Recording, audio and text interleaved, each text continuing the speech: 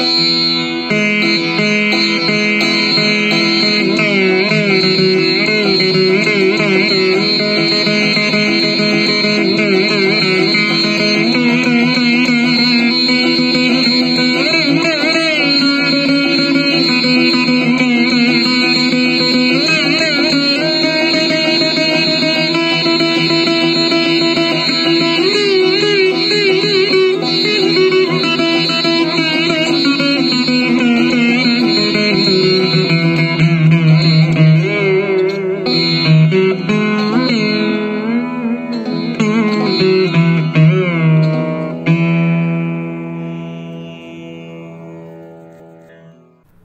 అమరావతి కథలకి స్వాగతం. ఈరోజు వినబోయే కథ ఆరేసిన చీర. వినండి. చెట్టు మీద చాకలోళ్ళు బట్టలు ఉతుకుతున్నారు. అహోస్ అహోస్ హష్ హష్.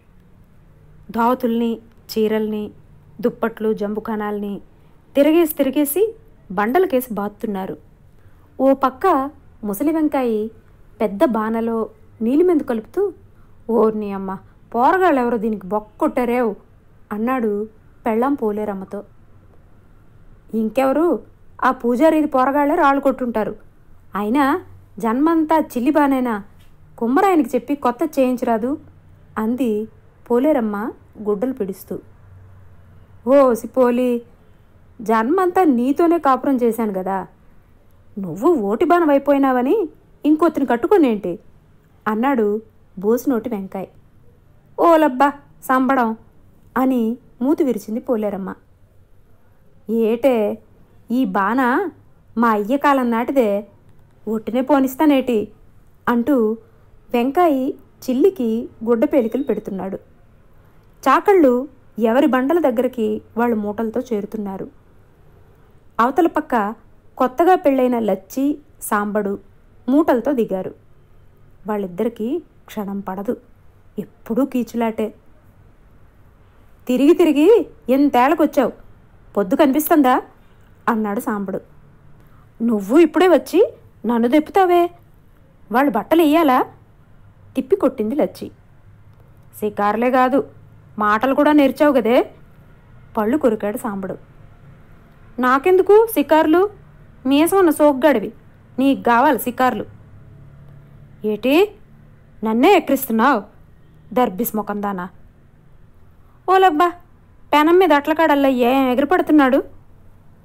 మక్కెలు ఎరగదంత బాంచోత్ లచ్చి జుట్టు పట్టుకున్నాడు సాంబడు. ఓలమ్మో గొల్లు మంది లచ్చి. వెంకాయి పోలేరమ్మ పరుగెత్తుకొచ్చి ఓరి మీరు పడిసావా? బట్టలు తడపకుండానే దెబ్బలాట్లేంట్రా? అని ఇద్దరిని విడదీసి పనికి పురమాయించారు. లచ్చి సాంబడు మాట్లాడకుండా బట్టలు ఉతుకుతున్నారు. మనసుల్లో ఒకళ్ళ మీద ఒకళ్ళకి ఎందుకో కసి.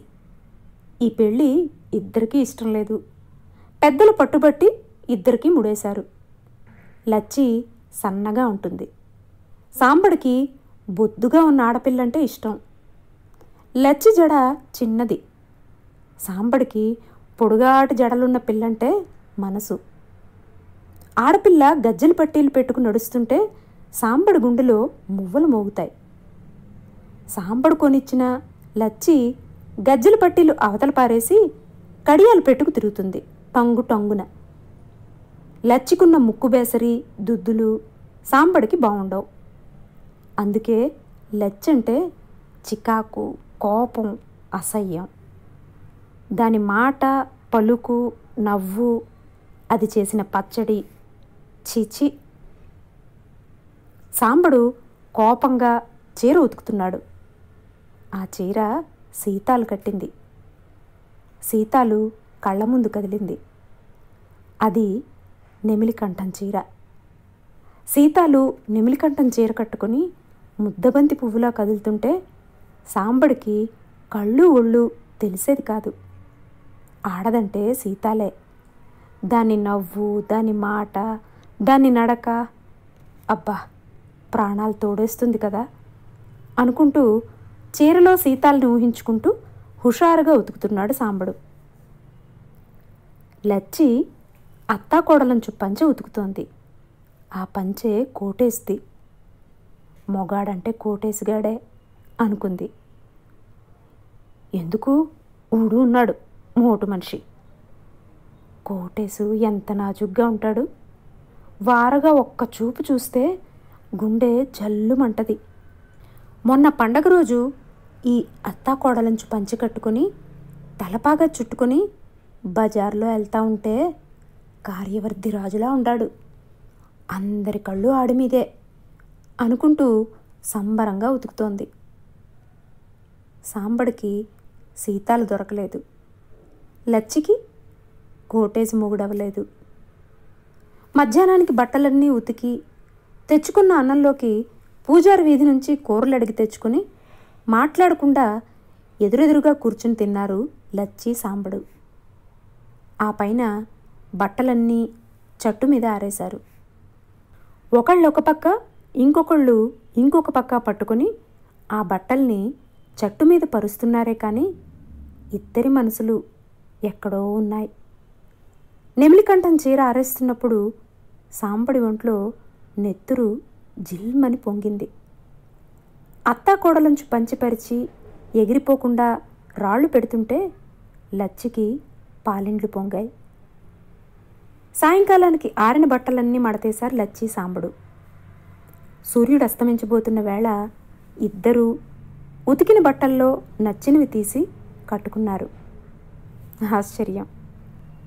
సీతాలు నెమిలికంఠం చీరలో లచ్చి అందంగా కనిపించింది సాంబడికి.